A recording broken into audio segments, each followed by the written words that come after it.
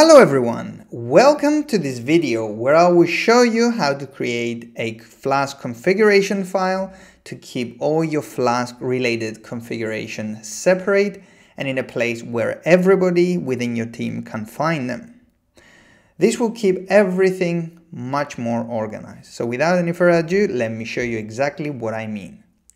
So any Flask application has configurations. And what I mean by that is if we access here config, we have a lot of application configurations. So the way you would sometimes set them is by setting them here. So I could set the application into a debug mode by saying flask debug and setting this to true. I could do a similar thing with, uh, I don't know, let's say secret key. This is the secret key of your application. And I'm going to say some secret key.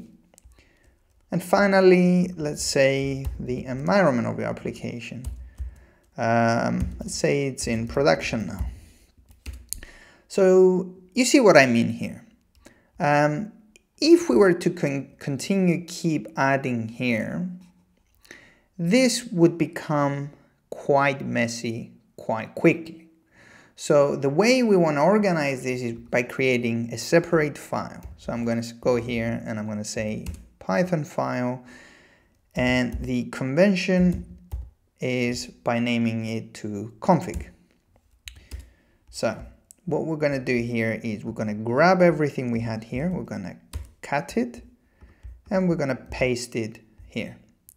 However, we don't need to access the application here because we don't have that.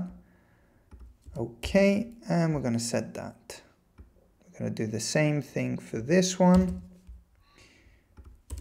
Okay, and the same for the final one.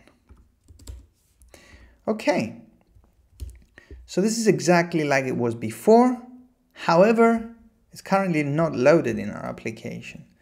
But we can fix that quite quickly and simply by saying app.config.fromObject and because our object is the configuration file and it's in the same directory, I'm going to say config. So if we want to test that to see that it actually works, we can say, let's have a look. What was the name? Okay, so Flask debug. So we're going to say uh, debug is, and then let's grab the value from app.config.get, and we're going to grab this exact thing here. I'm going to use single quotes here. All right, we're going to duplicate this a couple of times. We're going to say secret key is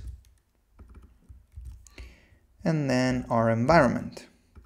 So I'm going to say environment is environment app.py and here we have it debug is true secret key is some secret key, environment is production.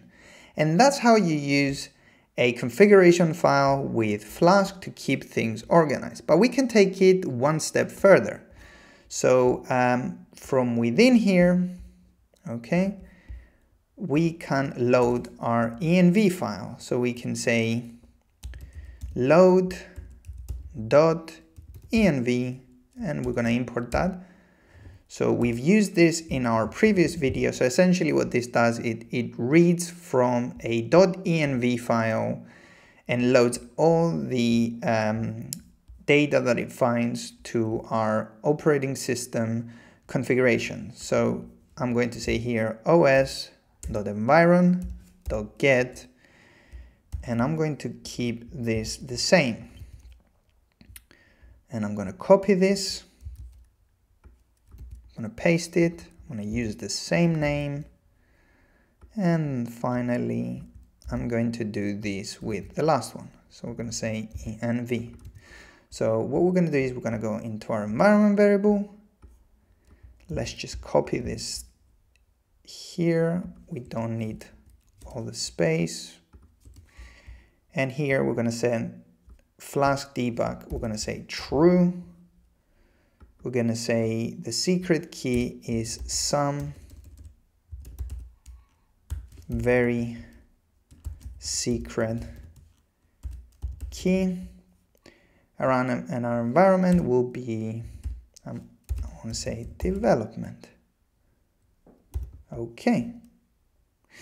So if we go to our terminal and rerun this it's true some very secret key and development so essentially the way the flow of uh, these environment variables is we're loading our .env so we're reading from our environment then we're setting these three variables from the environments and then we are loading that configuration file.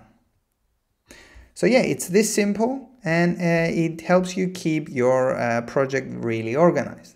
I hope you have enjoyed this video and if you have, please like, comment and share the video as this helps the channel grow so I can keep making these videos. I upload new videos every week about Python and Flask so if you want to get notified when I do, please subscribe as well as click the notification bell so you can get be notified whenever a new video is released. Thank you for watching and I'll see you in the next one.